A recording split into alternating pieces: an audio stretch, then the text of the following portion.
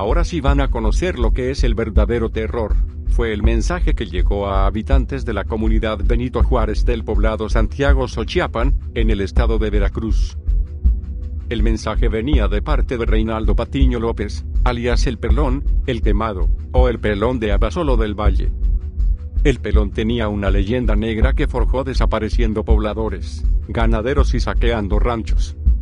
Desde hace unos ocho meses los nativos de Benito Juárez, la mayoría indígenas que hablan zapoteco, tenían la idea de que el demonio había bajado a la tierra y que había agarrado forma humana, y que esa era la de Reinaldo Patiño López, un jinete de jaripeos que llegó a ser uno de los blancos más buscados por las autoridades de Veracruz y Oaxaca.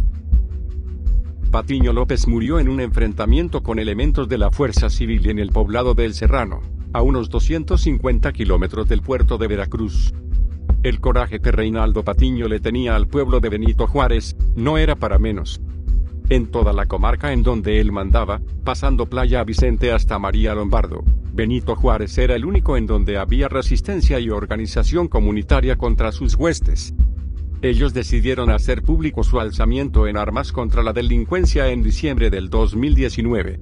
Dieron nombres, fechas y lugares en donde los sicarios de Reinaldo Patiño habían cometido crímenes. Nunca había tomado ni un cuchillo, señor, vaya.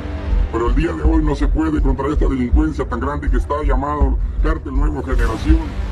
Tenemos muchos desaparecidos aquí en nuestra zona y pues ya estamos hartos, tuvimos que armarnos.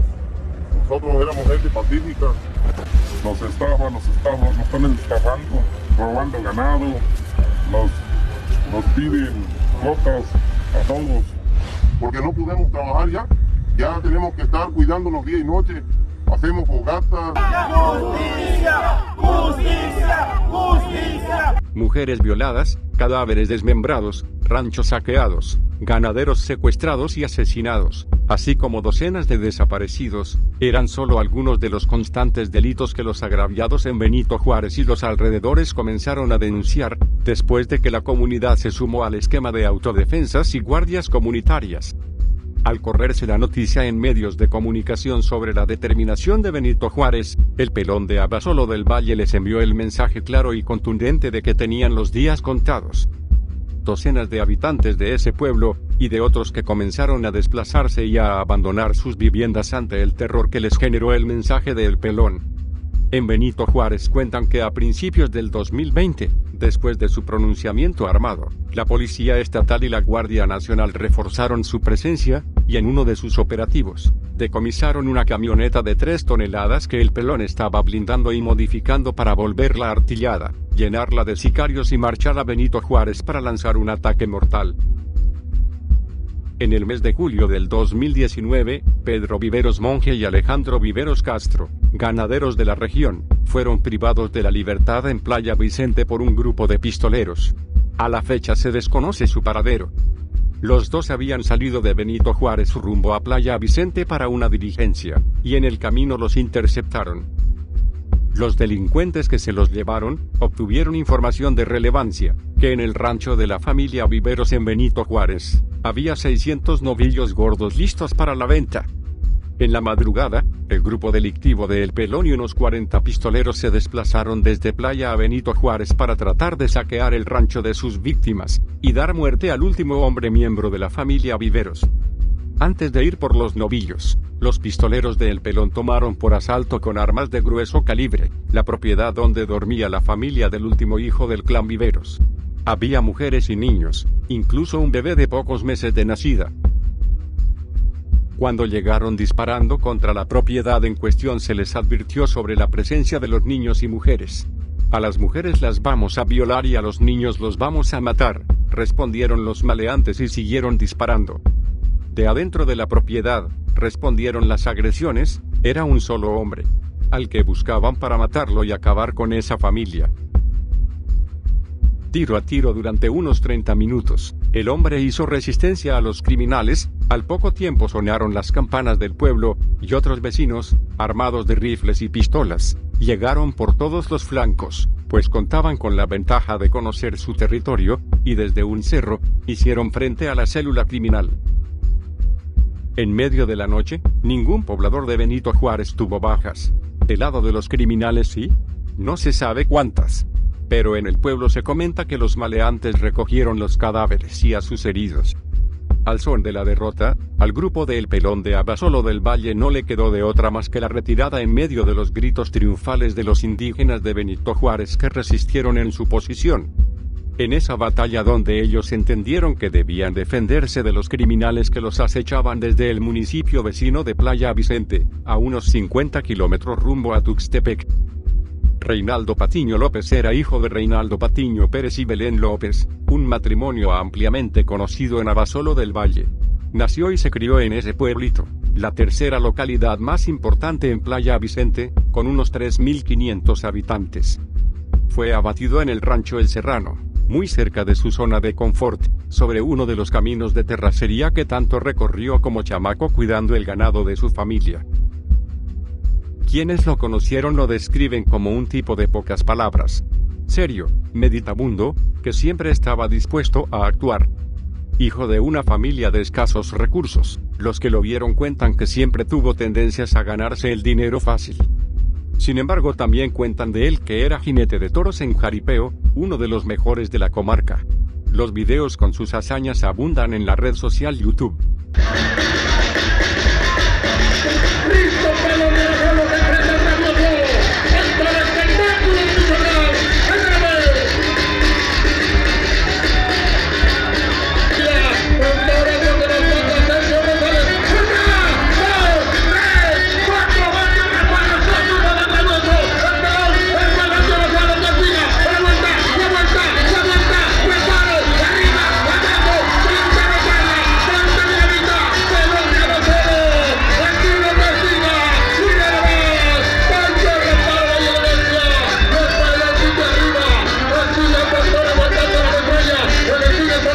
En uno de ellos se le mira intentar domar a una bestia cebú llamada el candidato, pero el pelón cae y se rompe una pierna.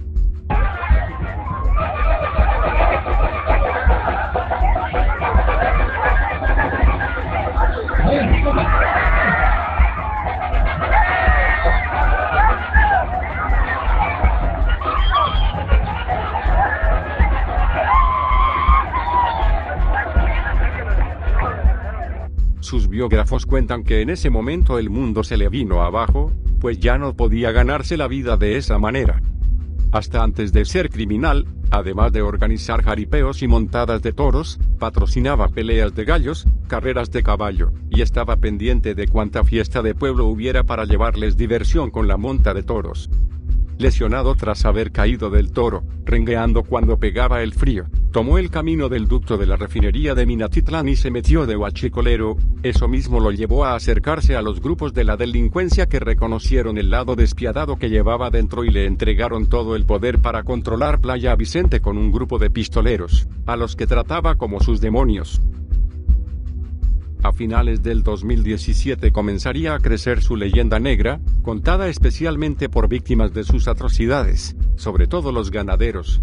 En las uniones ganaderas de esa zona contaba con informantes quienes le daban los datos de los ganaderos y compradores de animales que hacían negocios grandes con la venta de semovientes.